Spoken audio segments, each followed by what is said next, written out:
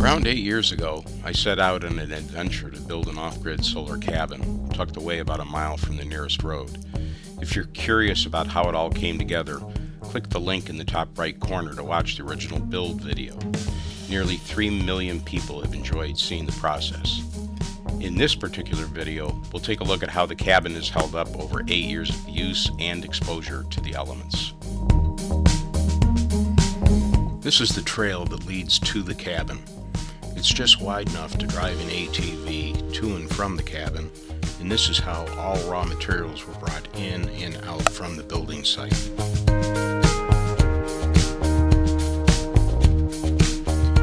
So this is how the cabin looks today after about eight years.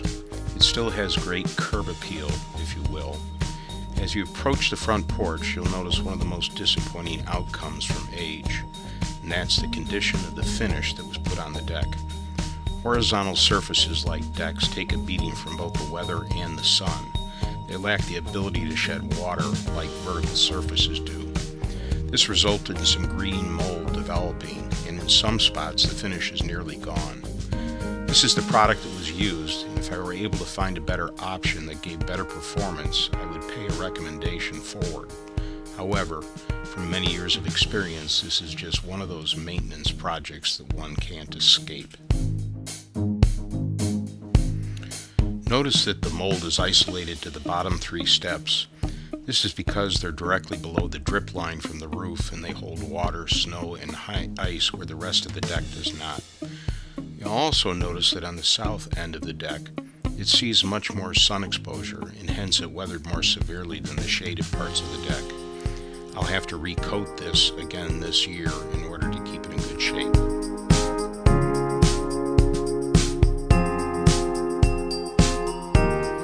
The front of the cabin held up very nicely. I must admit that I washed the front of the cabin a year ago because dust and dirt had collected where it generally doesn't get washed away from the rain. I did this using my 20 gallon battery driven spray tank that I used to spray apple trees with, along with a little bit of soap and a soft rag. It really made a big difference. Recall from my build video that one of the most time-consuming tasks when building the cabin was the finish that I put on the boards. The process involved a base coat and two top coats for a total of three coats. This was worth every bit of time and energy because I did not have a single coating failure anywhere on the cabin. The brightness of the finish stood up to the elements and I'd highly recommend Sikkens Cetol 1, 2, 3 as an excellent but caution, expensive product. You'll see here that the lattice work held up pretty well, but I still had issues with critters chewing through the lattice in several spots. I might consider a different approach by putting wire cloth behind the lattice next time.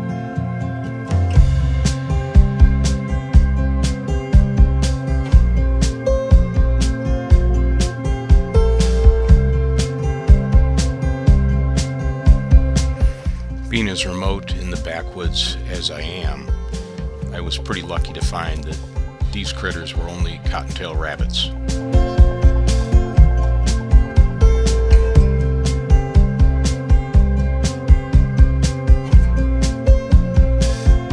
You may recall I had mentioned that I had washed the front of the cabin. This is what it looked like prior to being washed. There's a little bit of dirt and grime that attaches itself to the boards themselves. This is not a function of the paint. This is just simply the fact that it's underneath the awning and doesn't get washed away naturally.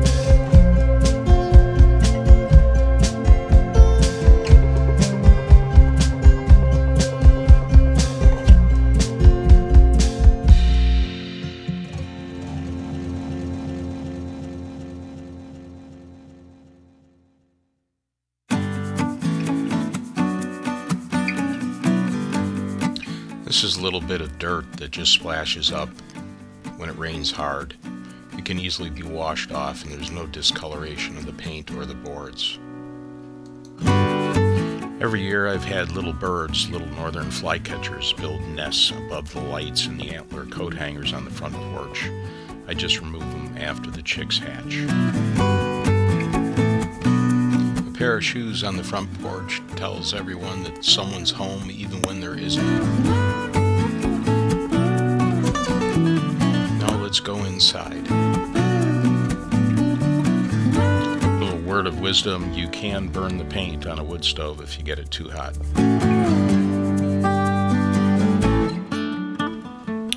On the inside, everything held up very nicely. No issues with the cabin settling or otherwise moving, no roof leaks. Only a few maintenance issues have been addressed over the past eight years. One is an annual window washing in the spring, as it makes such a noticeable difference with such little effort.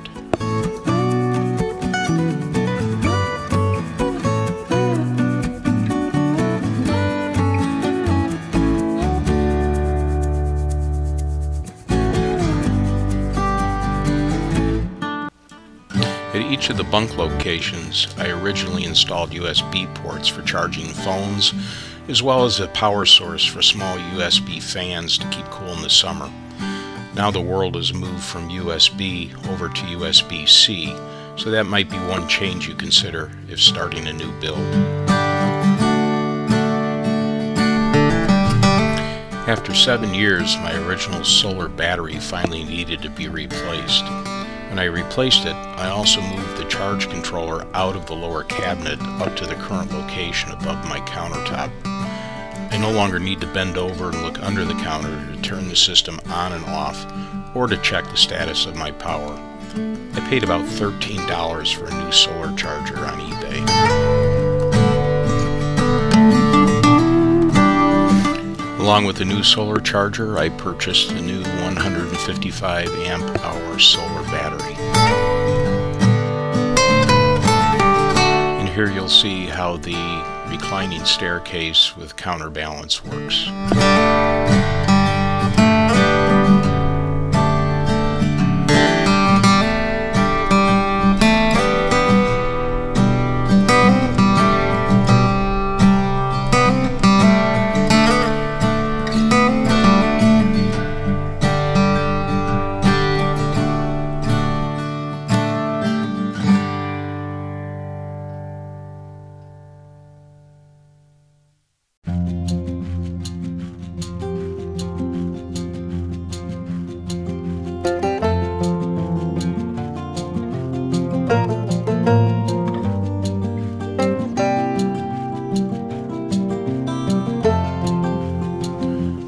Things I gave serious consideration to doing was putting a handrail on the staircase.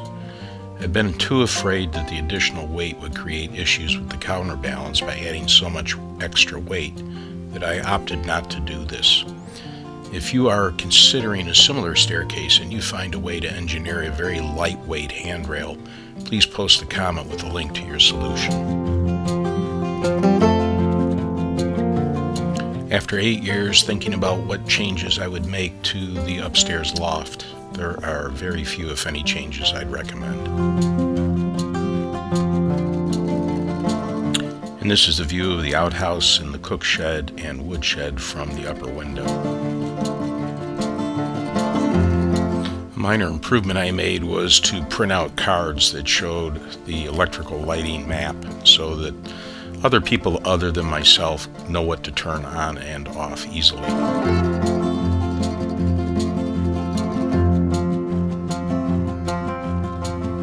My barbecue grill in the cook shed hasn't been used in about nine months. When I opened it up and pulled the cover off, I was surprised to see a complete mess had been made by various different critters that made a home inside. It took me nearly half a day to get it cleaned up. Another example of where green mold develops where water collects.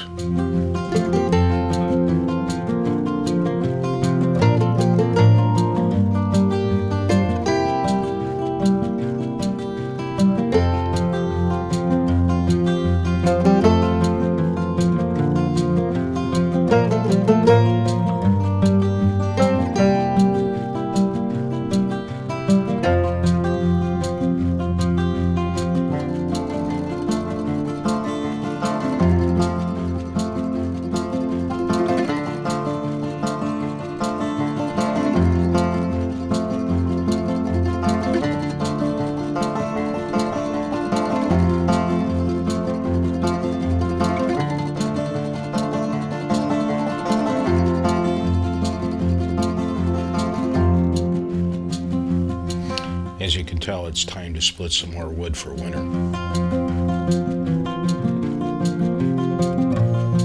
After this video was taken, I used deck wash and sprayed it on the back of the outhouse and then used a broomstick with a mop head on the end of it and was able to wash this off very very easily in fact it now looks good as new but this is shown before I washed it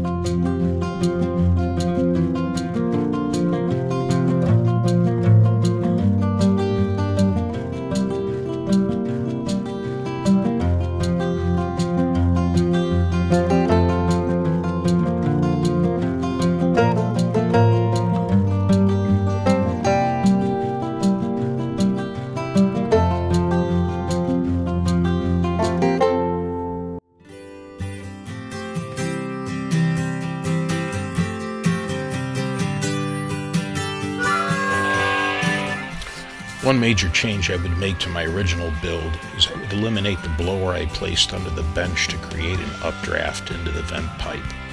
This blower seized up on me after only about one year of use, likely due to the moisture under the bench, and to repair it would, shall we say, would be a very messy endeavor. It really didn't have much utility, so I just left it in place, and now it is not used.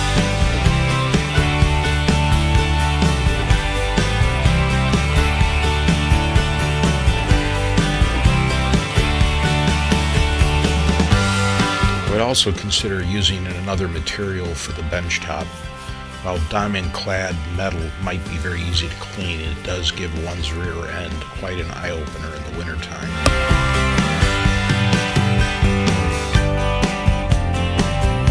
So there you have it, the cabin after eight years of exposure to the elements and weathering. I hope you found this to be of value. Thanks for watching.